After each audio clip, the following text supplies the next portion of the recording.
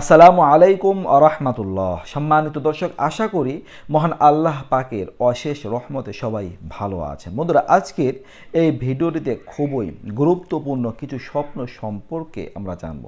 আপনারা অনেকেই হয়তো স্বপ্ন দেখে থাকেন, ঘুমালে স্বপ্ন দেখেন। মানুষ স্বপ্ন দেখতেই পারে কম বেশি অনেকই স্বপ্ন আমরা দেখি। এটা কোনো বয়সের সাথে মিল নেই, যে কোনো বয়সে যে কোনো মানুষ স্বপ্ন দেখতে পারে। তো বন্ধুরা স্বপ্ন আপনি যদি দেখেন, দিনে যখনই দেখেন, রাতে যখনই দেখেন, চাই আপনি সেটা দুপুরে দেখেন কিংবা বিকালে দেখেন কিংবা সন্ধ্যার পরে দেখেন, ঘুমালেন, পাঁচ মিনিটের জন্য, দুই মিনিটের জন্য ঘুমালেন, হঠাৎ করে কোনো স্বপ্ন আপনি ঘুমের মধ্যে দেখতে পারলেন। তো আপনার যে কোনো সময়ের স্বপ্ন সত্য হয়ে যেতে পারে, অবাস্তব কিছু নয়।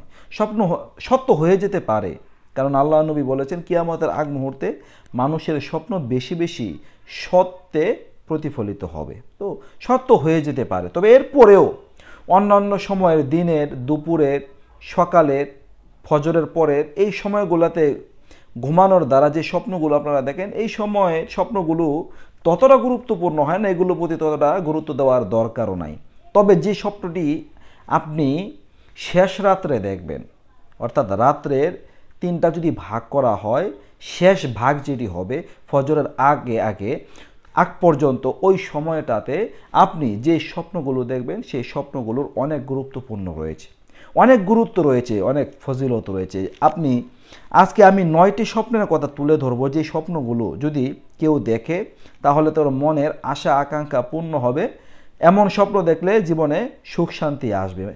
আশা পূরণ হবে, সুখ শান্তি আসবে। এই নয়টি স্বপ্নের কোনো একটি দেখলে। আর তার মধ্যে যদি এই স্বপ্নগুলো আপনি শেষ রাত্রে দেখতে পারেন, আলহামদুলিল্লাহ, আপনার কপাল খুলে যাবে ইনশা আল্লাহ আপনার জীবন বনে যাবে। তো চলুন জেনে নেওয়া যাক সেই নয়টি স্বপ্ন কী কী। তো এক নাম্বার, যদি আপনি স্বপ্নে দাঁত দেখেন, দাঁত, তো দাঁত দেখা এইটাও মনের আশা পূরণ হওয়ার প্রতি ইঙ্গিত করে। তবে দাঁত নড়তে দেখা, পড়ে যেতে দেখা, এটা ভালো নয়। তবে শুধু দাঁত যদি দেখেন, তাহলে এটা খুবই ভালো লক্ষণ, খুবই কল্যাণকর লক্ষণ। এরপরে দুই নাম্বারে যদি আপনি স্বপ্নে আগুনের দ্বারা কিছু রান্না করতে দেখেন, আগুন দ্বারা কিছু রান্না করতে দেখেন, এই স্বপ্ন দেখাও মনের আশা পূরণ হওয়ার এবং জীবনে সুখ শান্তি আসার প্রতি ইঙ্গিত করে। অনেক এই স্বপ্নগুলোর দ্বারা অনেক রকমের ব্যাখ্যা দিতে পারে উল্টাপাল্টা, ওগুলোর প্রতি বিশ্বাস করবেন না। যেটা প্রকৃত ব্যাখ্যা, ওইটা আমরা আপনাদের সামনে তুলে ধরছি। এমন স্বপ্ন দেখা, আগুনের দ্বারা কিছু রান্না করতে দেখা মনের ইচ্ছা পূরণ হওয়ার প্রতি ইঙ্গিত করে। যদি আপনি দেখেন তাহলে আপনার ইচ্ছা পূর্ণ হবে যদি দেখেন যে আপনার মায়ের রান্না করছে বা আপনি দেখতে পারলে আপনার বোনের রান্না করছে, যেই রান্না করুক তার মনের আশা পূরণ হবে ইনশা আল্লাহ তিন নম্বরে, যদি আপনি কোনো অবিবাহিত মহিলাকে সজ্জিত দেখেন, কোনো অবিবাহিত মেয়েকে যদি আপনি সাজসজ্জা হয়ে একেবারে রেডি থাকতে দেখেন, তাহলে এমন স্বপ্ন আপনার মনের আশা পূরণ হওয়ার জীবনে সুখ, শান্তি আসার ইঙ্গিত করে। চার নম্বরে, যদি আপনি অন্যের হাতে মার খেতে দেখেন, খুব বেশি মার খেতে দেখেন, এইটাও মনের আশা পূরণ হওয়ার ইঙ্গিত দেয়, জীবনে সুখ, শান্তি আসার ইঙ্গিত দেয়। এরপরে যে স্বপ্নটি দেখলে আশা পূরণ হয়, সেটি হলো, যদি কোনো আলেমকে আপনি স্বপ্নে দেখেন, কোনো আলেম বা হুজুর তাদেরকে যদি স্বপ্নে দেখেন, এমনকি হাসি খুশি দেখেন, তাহলে এটাও মনের আশা পূরণ হওয়ার ইঙ্গিত দেয়। এরপর আরও একটি স্বপ্ন, বন্ধুরা, যদি আপনি স্বপ্নে আতর দেখেন বা আতর বিক্রেতাকে দেখেন, যাকেই দেখেন, আতর দেখেন বা আতর বিক্রেতা দেখেন, তাহলে এটা দেখাও মনের আশা পূরণ হওয়ার ইঙ্গিত দেয়, জীবনে সুখ শান্তি আসতে পারে আপনার।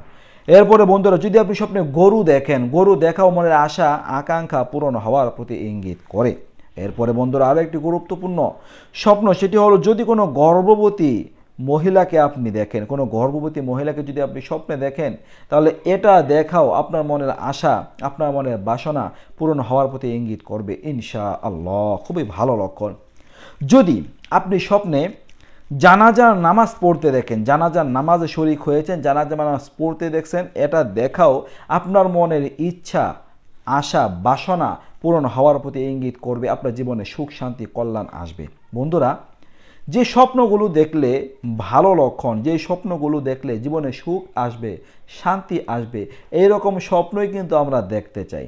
যে স্বপ্নগুলো দেখা কোনো বিপদের ইঙ্গিত দেয়, অভাব অনটনের ইঙ্গিত দেয় কোনো মুসিবতের ইঙ্গিত দেয়, অসুস্থতার প্রতি ইঙ্গিত করে এইরকম স্বপ্ন কিন্তু আমরা দেখতে চাই না, এগুলো থেকে বাঁচতে চাই। তো সেই জন্য আমাদের আল্লাহ পাকের কাছে দোয়া করতে হবে, প্রার্থনা করতে হবে। এশার নামাজ, ফজরের নামাজ, পাঁচ অক্ত নামাজ, জামাতের সহিত আমাদের আদায় করতে হবে। আমাদের সত্য কথা বলে যেতে হবে। আমাদের হালালটা খেতে হবে। আমাদের ইমান আকিদা, বিশ্বাস ঠিক রাখতে হবে।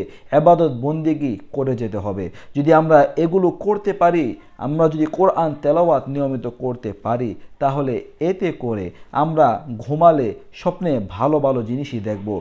কল্যাণকর বিষয় দেখব। কোনো অকল্যাণকর বিষয় স্বপ্নে আমরা দেখব না। আল্লাহ পাক আমাদেরকে হেফাজত করবে ইনশা আল্লাহ তো আল্লাহ পাক আমাদের সবাইকে সুন্দর সুন্দর, ভালো ভালো কার্যকরী স্বপ্ন দেখার তৌফিক দান করুন। তো এই ছিল আজকের আলোচনা। আশা করে বুঝতে পারছেন। তো কেমন লাগল আজকের এই ভিডিওটি অবশ্যই কমেন্ট করে লিখে জানাবেন। যদি কোনো বিষয় জানার থাকে কমেন্ট বক্সে প্রশ্ন করবেন। নিত্য নতুন বিভিন্ন ভিডিও পেতে চ্যানেলটিকে সকলেই সাবস্ক্রাইব করে রাখবেন। আসসালামু আলাইকুম ওরহমতুল্লাহি ওবরাকাতু